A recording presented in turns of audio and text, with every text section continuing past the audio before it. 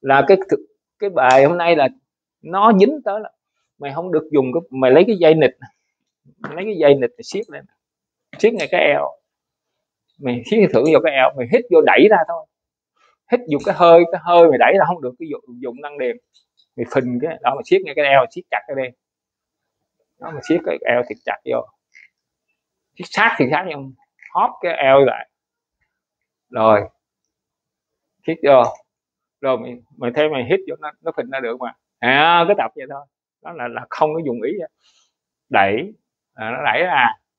Đó là không được dùng căng điền con mẹ gì hết.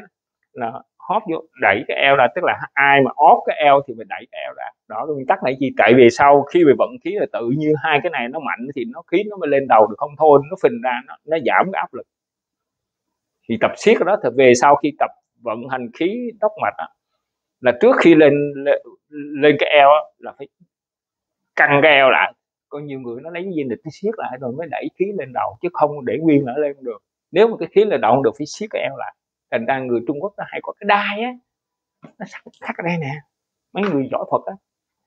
Mấy trùng không nào mà thằng nào mà vận khí không đem bắt siết này lại vận nó lên dễ hơn. Nói thẳng vậy đó còn nếu mà luyện cái này mạnh thì nó có hai cái đường khí nó nó nằm ngay cái eo thì khi vận lên hai thằng nó ép vô đẩy khí lên đầu được, nó qua khỏi mình bôn còn thôi lên mình bôn nó phình hai cái eo mất mẹ hết. Tin nếu mà mày không siết cái đó bị vận khí là coi, nó đẩy cái eo ra. Vận lên qua khỏi mình môn đẩy khí mình môn ra thấy không? Nó không đẩy nó nó đẩy cái eo ra. Bây giờ giữ cái eo cứng rồi mới đẩy mình môn nó mới lên. Nhiều người không có biết vận khí còn khí vô nó tự nhiên tới đây nó vướng cái mình môn tại vì nó đẩy cái eo ra rồi. Tại cái eo mình không có cái đường khí giữ. Mày tập cái bài này thì nó cái nó, cái eo nó giống như một cái kiền á, giống như một cái dây địch nó nằm ngay đó, nó đó theo nó nó nằm cái trận thì mình vận khí qua cái lưng nó lên tôi nó đẩy cái eo bung ra. Mà vận, cái eo bung ra tức là vận khí đới mạch chứ không phải vận khí đốc mạch đó, cái đó là đới mạch á. Cái eo tính là đới mạch nó phồng ra cái vòng tròn, thấy không? Mà nó đang phình dậy cái khí đâu lên đầu. Mất khí lên đầu. Thành ra khí, khi khí lên đầu phải, cái eo nó mạnh lắm. Tức là muốn luyện khí nào phải luyện cái vòng tròn ở cái bụng trước là nó mạnh thì nó mới đẩy lên. Thì dùng tay, thì dùng tay. Đó, dùng tay chận đó nè. Nếu mà vận khí không được chặn hai cái eo vận cái nó lên lên lên qua khỏi mình môn không thôi, nó đẩy cho đó ra, nó không lên môn, nó chạy vòng, bọc ra trước.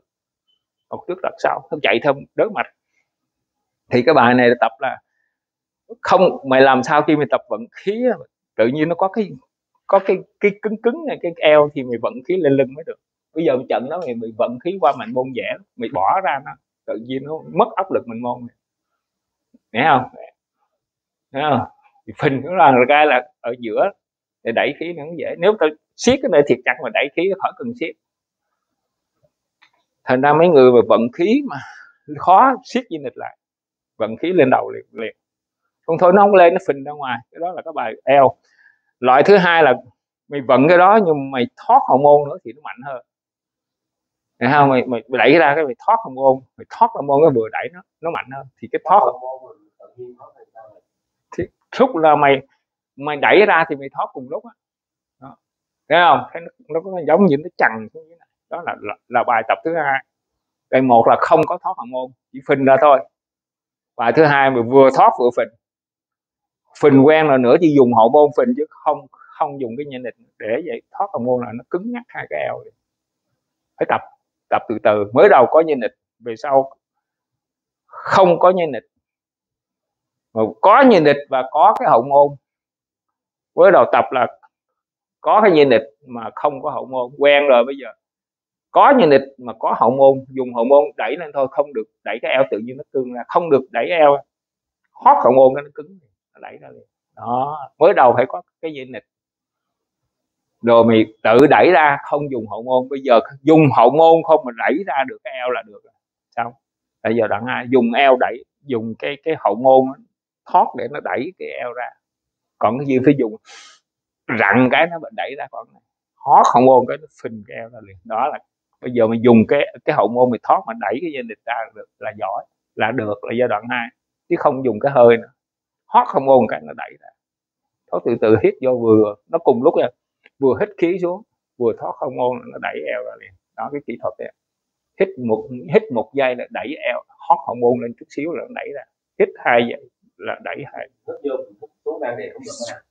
Xuống đăng điền là muốn xuống đăng điền là phải có cái tao nói phải có cái cây đẩy cái đăng điền đó mới xuống.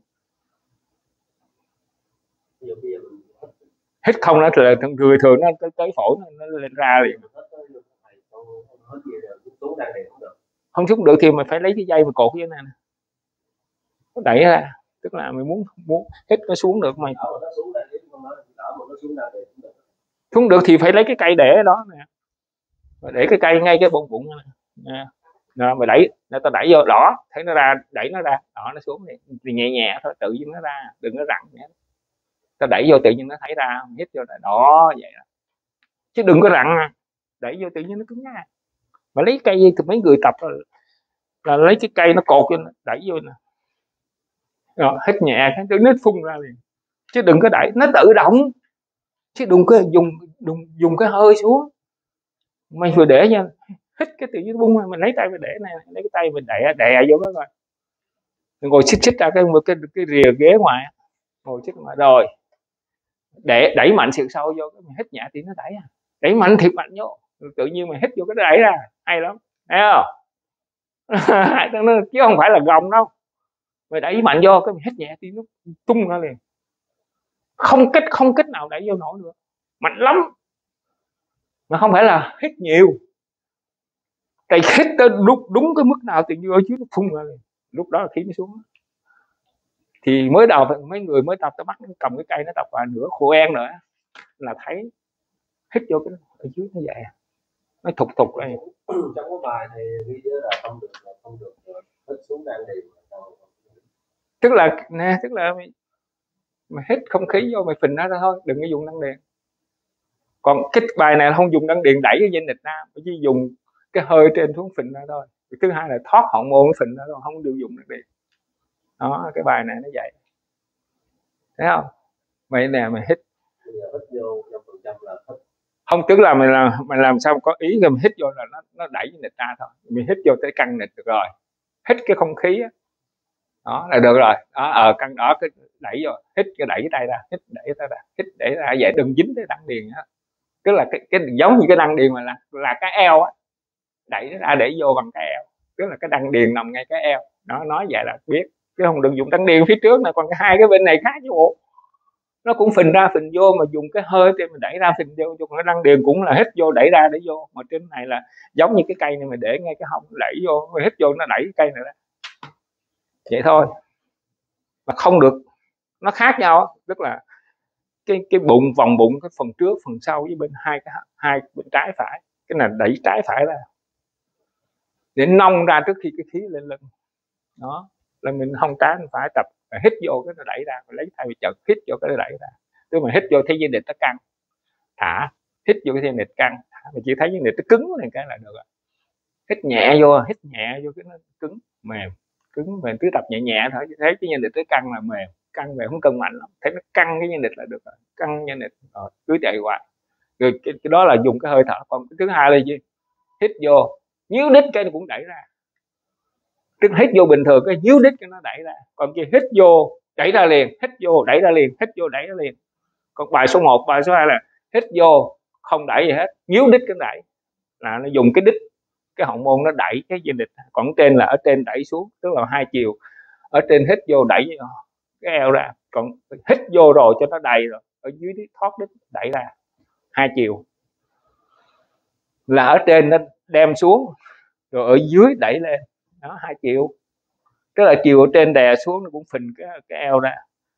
Rồi bây giờ hít vô nó nó đầy cái eo rồi cái nhíu đít cái là cũng đẩy cái eo ra. Có hai cách đẩy eo bằng ở trên xuống ở dưới lên. Vậy thôi là bài 1, bài 2 bài đó gọi là đỉnh khí công thứ 12 để chi là về sau khi mày mấy cái đường này nó cứng mày vận khí nó thông thoáng nó tự nó lên mấy cái này nó mạnh rồi, nó bọc lại.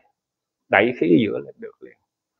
Chứ không thôi lo cái bụng không bên trái phải không có nó nó phình ra thì khí mất hết. Khi mà vận khí lên đó vì hai cái eo nó phình ra hút hết khí lên đầu.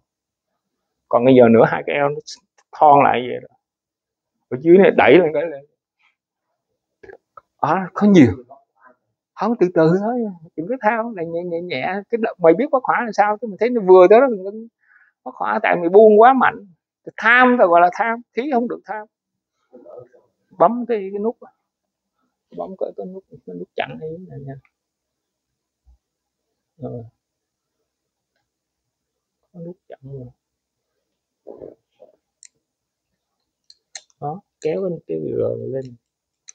Kéo cái, cái nút nóc lên. Đó là vậy thôi cái bài thở số mày tập hoài cho nó thành tự động.